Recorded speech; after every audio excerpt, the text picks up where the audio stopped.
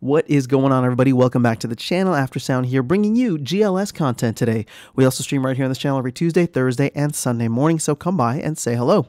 All right. Well, Chatter Chatter put out a little bit of information. It wasn't it wasn't much. I feel like we're getting dripped just these little teasers of uh, of information on all the stuff that they're working on. Specifically, it looks like the validator nodes are coming next. Although we did hear that from Aggie uh, maybe a week or two ago. So we got a little bit more information in the official Discord. Uh, so I just want to go go over that with you. And then uh, I also have, for reference, pulled up what the original kind of plan, well, I, I, guess nothing has really changed from this, but the original plan for the Splinterlands SPS nodes uh, went went through. So um, we'll, we'll go back to that in a second.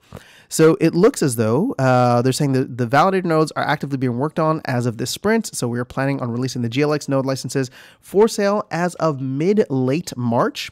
Um, so again, that's kind of within the time frame we were expecting by the end of Q1 um, to allow time for to unstake GLX for those wishing to participate in the sale. So it takes four weeks to unstake your entire amount, which means if you want to get involved, now is the time to do it. That's the purpose of this video, uh, in addition to obviously going through the information here, because it will take roughly four weeks. We're getting this on February 17th. So if you were to start unstaking today, you would get it by March 17th, which I don't know if that's going to be the exact date. It says mid to late March, but I would say that the 17th, uh, doing it now probably just puts you in a safe spot.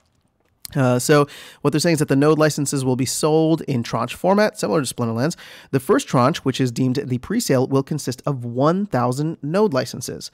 The pre-sale will last until 1,000 node licenses are sold, and node licenses node licenses will be sold in GULSD, GLUSD. Sorry, we knew that already. With users being able to get a GLGT, uh, use GLGT as a discount, and I believe it's 50% off. Chatter did confirm that in the uh, in the the general the general channel, I think is what it's called. Um, so all that information, at least for for GLUSD and GLGT, is not new. But the 1,000 licenses and the mid March, mid to late March timeframe, I, I guess, is kind of uh, oh, the mid to late, mid to late March timeframe is is not necessarily new, but the 1,000 licenses is. Now here's the cool part: once the pre-sale is over, or potentially after a set amount of days, this is still to be decided. The GLX node licenses will be airdropped to SPS node license holders. The structure behind this airdrop is still being refined. So unfortunately, we don't know if it's one to one, two to one, three to one, five to one, whatever it is. But um, the structure is still being designed, and they say that they're going to have more details for us soon. Uh, the node license sale will act as a large burn sink for GLUSD and subsequently GLX as it is required to burn GLX in order to obtain GLUSD. Uh, so the exact revenue allocation percentages for this, uh, we've gotten this information before, but 75% of that GLUSD is going to be burned, 15% will go to the DAO, and 10% will go as revenue to the goals company. Uh, and then it says a portion of this will also be used to purchase tokens with a priority on using tokens for liquidity pools. Okay, interesting. So it looks like they're going to take that 10%, probably create some kind of GLUSD uh, liquidity pool, which I, have been wondering about for a while because you know there's no there's no swaps, easy swaps available for GLX, GLGT right now either, and then of course GLUSD. So along, well, actually GLX does have the SPS swap, but I would love to see more pools for it.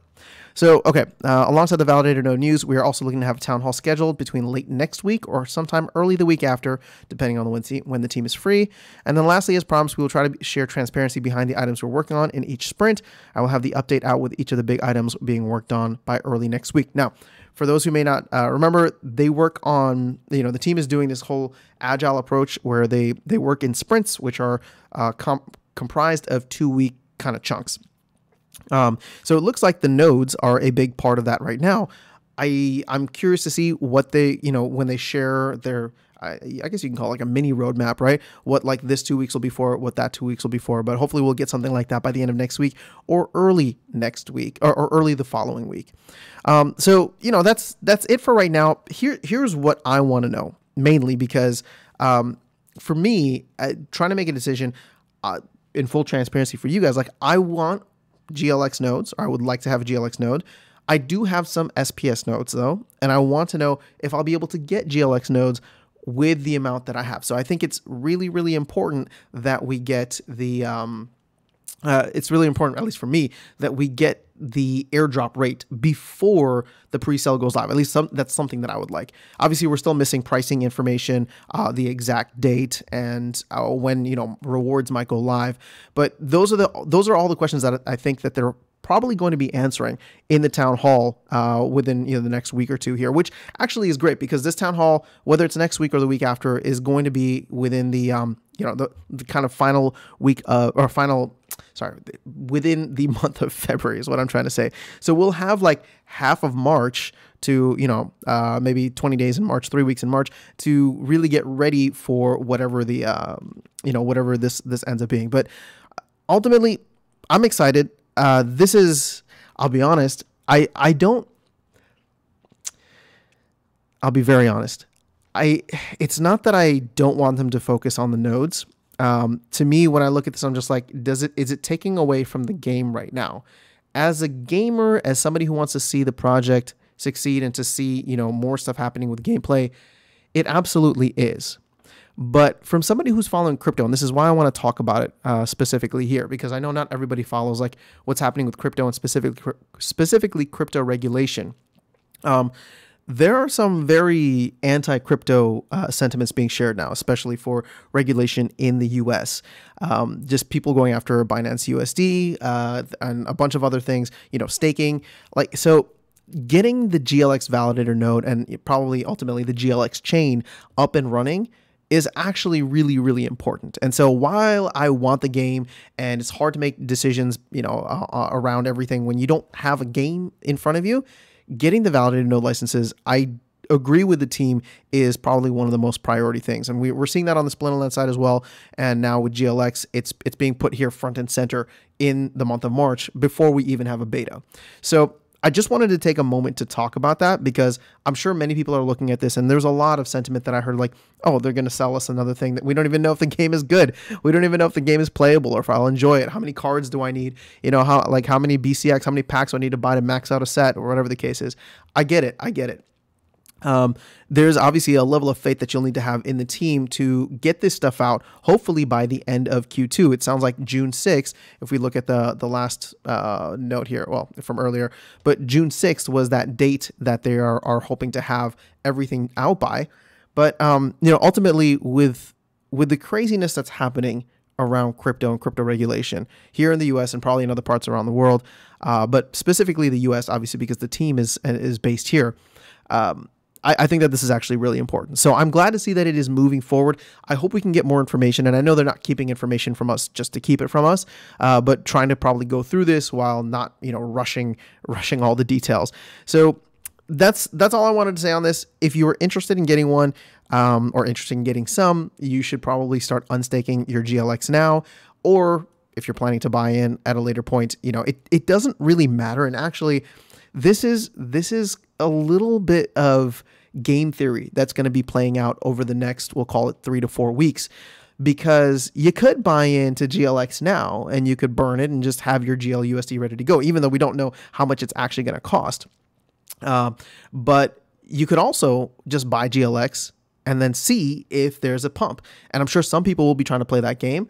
I don't know, you know, I don't know how that's going to work. You might have some people who try to play the trade, not necessarily because they want nodes, but because they know other people are going to be coming in and buying GLX at a later point in time. So they might be providing that sell pressure when we start to pump a little bit. And I think GLX is like a little bit over four cents right now as it is. So it's looking like it's in a good spot.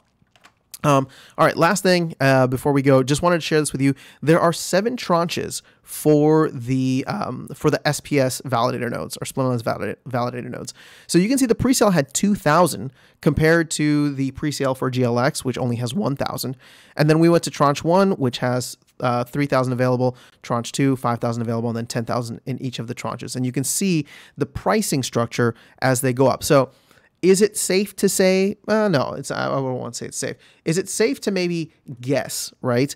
Uh, a very educated guess that this could be a similar pricing structure, at least for the pre-sale uh, and even onwards. Sure, right? Maybe it's a thousand GLUSD and 500 GLGT.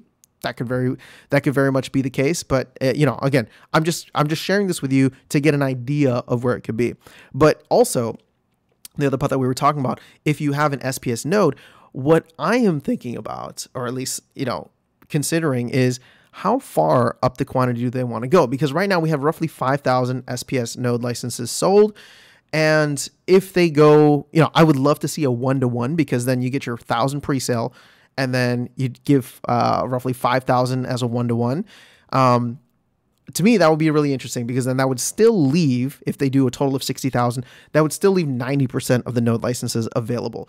Um, and then you could kind of skip this tranche one and then go directly to like a tranche two. Obviously, have the numbers play out a little bit nicer. So this would, instead of 2,000 to 3,000, you'd have like 1,000 and 5,000. But tranche one would essentially be whatever we have right now, airdrop one to one. Again, I don't know how it's going to play out. That's what I would like to see. Uh, but hopefully, we're going to get those questions answered for us within the next week or two here. But let me know your thoughts in the comments below. Are you planning to get a node license uh, for GLX? Are you planning to just see if uh, you're going to get lucky in terms of an airdrop? Uh, I am very curious to know how this will work out for everybody and what their approach is. But for me, like I said, I, I do want to have some, and if there's no guarantee that I'm going to get one from an airdrop, then I'll probably look to get one uh, during the pre-sale. But otherwise, uh, I may just wait it out and not FOMO in. Who knows? All right, that's all I have for you guys in this video. Let me know your thoughts in the comments below. I'll catch you all in the next one and see you around the game. Take care.